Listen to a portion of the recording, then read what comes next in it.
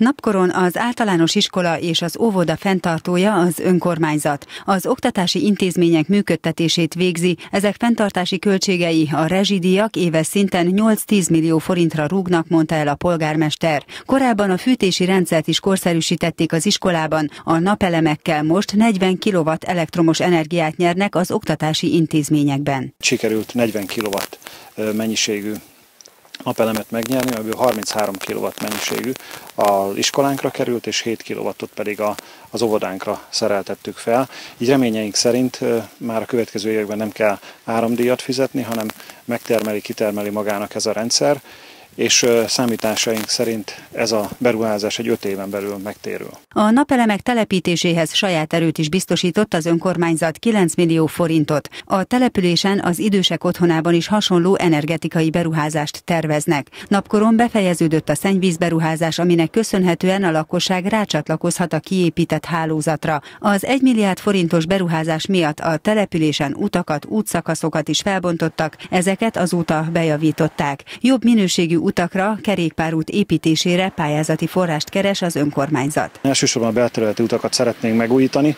Most a szennyvízberuházás után eh, hál' Istennek sikerült eh, a közutas szakasz nagy részét, illetve a közutas szakasz teljes egészét eh, megújítani teljes szélességben, illetve saját erőből önkormányzati utakat is, a főbb gyűjtőutakat sikerült megszélesíteni, illetve új aszfaltburkolattal ellátni, de vannak terveink, hiszen napkoron még 3-4 kilométer olyan útszakasz van, ami nem zárt aszfaltréteggel borított, hanem csak szórt alap van, úgyhogy ezekre vonatkozóan is nagyon készülünk, mert azt vettük észre, hogy a lakosságnak talán ez az egyik legfontosabb fejlesztési cél. A polgármester elmondta, pályázati forrást keresnek továbbá a helyi művelődési ház felújítására is, ugyanis a közösségi programokra korszerűbb és tágasabb teret szeretnének.